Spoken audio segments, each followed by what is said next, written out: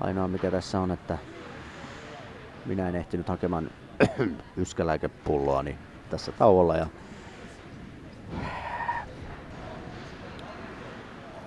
Vilenius väistää hienosti. Siinä on nyt varmasti Pers, Persahalo vähän kipeänä Kaarinan pojalla, kun ajoi melko va- kovalla vauhdilla tuohon laitaan. Kyllä poliisitutkinta käynnistetään aivan ehkä jopa vielä tämän pelin aikana. Nimittäin nyt, nyt on liikaa, liikaa ihmisiä kadoksissa ja yksi läpi. Ja siellä aivan todella upeasti uittaa jalkojen välistä numero 61 Markus Joutsa. Ja Joutsa kiittää ja kumartaa siinä vielä putket maalivahdilta. Ja yes sir, Jakan Bugi.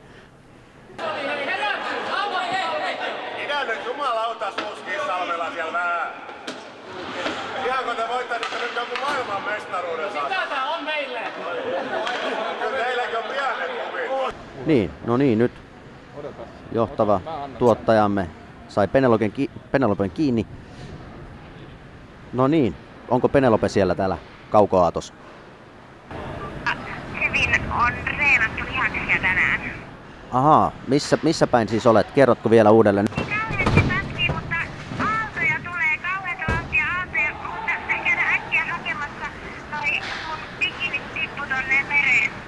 Herran Jumala.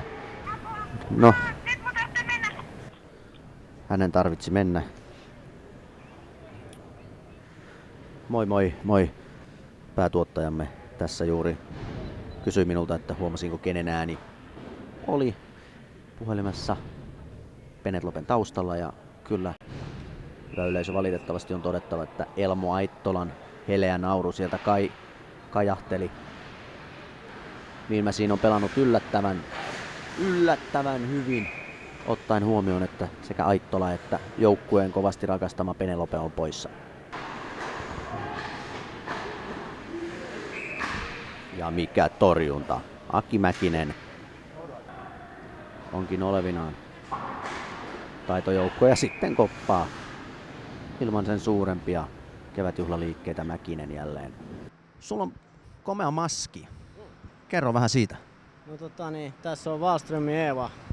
Se on siinä mä Aas pelasin tuonne nelisen vuotta kun on maalattu ja mä halusin Eevan tohon. On kova, kova donna. Laitettiin Eevan kuva sitten.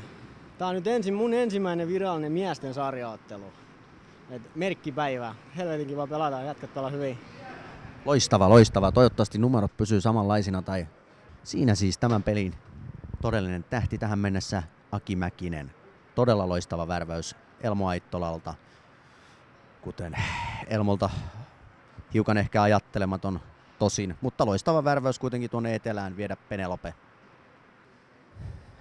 Tämä tältä erää, hei, pistä oikeasti poikki, en mä, pysty, mä en pysty, en, toi Penelope juttu on vähän liikaa. Mulla ei ole mitään lääkettä, mutta hirveä pääsärky. Huh.